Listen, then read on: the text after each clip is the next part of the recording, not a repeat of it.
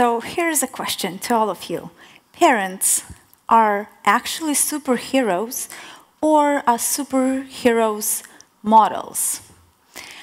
I think we're both because it's extremely difficult to be a connected, grounded, conscious parent, and we are role models for our children because they look at us as divine figures. But sometimes parenthood can be messy, uh, and it doesn't look like we imagined it. We maybe were dreaming about something like that, but it's a fake because it takes one second to take the picture. We have no clue what happened before and what's going to happen after. Usually, parenthood looks mostly like that. you take a deep breath. You meditate why this happened, what you're going to do next. You clean the mess, and you try to have a better day after what that happens. Sometimes it can look like that, and just in case you're wondering, this is not chocolate. Sometimes it can start you off not as you expect, and it can look like that. But don't despair. Technology is here, is here to help us all, from VR applications to AI to augmented reality to smart robots we've been talking about all day tech is here to alleviate our problems and to make it a little bit easier. So uh, we're parents 24-7. It's a full-time, non-stop, unpaid job, as most of you know. And we don't prepare for this amazing, hard, rewarding job. We don't prepare for it enough. Why is that? Still figuring it out? We'll see. To become a doctor, to become a lawyer, to become a teacher, any job you want, you have to go to school, you have to study hard, you have to go to university, you have to pass a bunch of tests, get a degree. Only then we are allowed to execute this profession, to practice this job. Parenthood is a job because we prepare these little humans to be the future, to be the next generation and to be the grown up adults. We today have no clue how the future is going to look in 10 or 20 years. Maybe uh, your children will end up on another planet being an astronaut planting roses, or maybe she's going to discover the new galaxy. So the technology that we have today is only a little glimpse into the future of our children.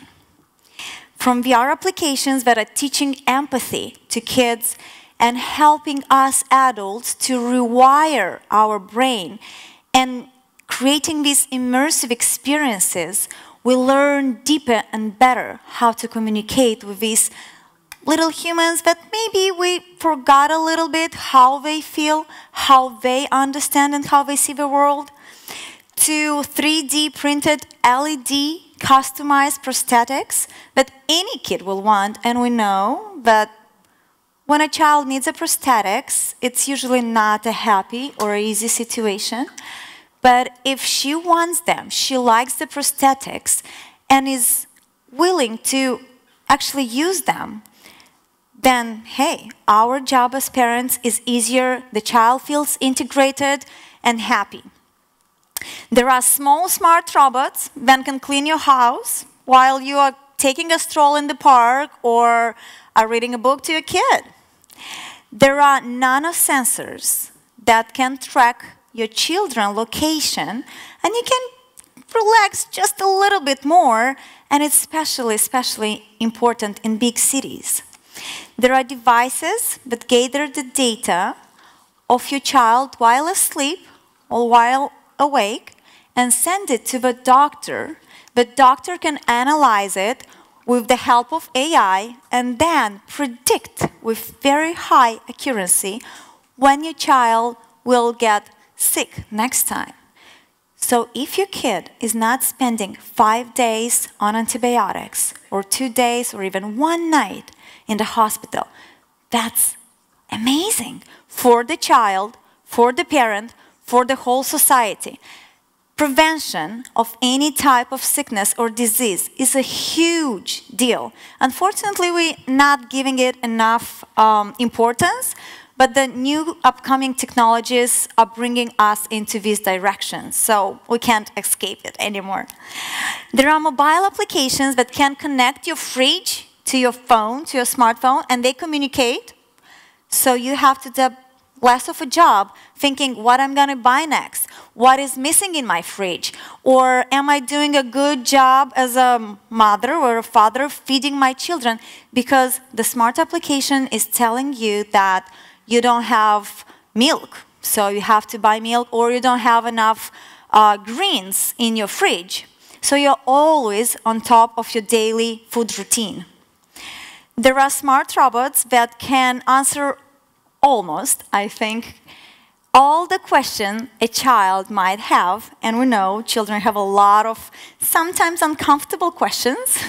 so if we let the robots, the AI, answer those questions, the results can be amazing, and they learn from the best because we have Alexa, we have Google Assistant, we have um, Siri, and now we have Sophia that gave a speech to UN conference a few days ago. So there are robots with extremely high intelligence, maybe not the highest emotional intelligence as we have as humans, but definitely has all the questions for your children. So here I am talking about parenthood and the cutting edge technology and encouraging all of you going out there, give it a try. If it's not for you, don't insist, but remember, the future is unknown to us. The cutting edge technology that we have now will be obsolete in less than 10 years.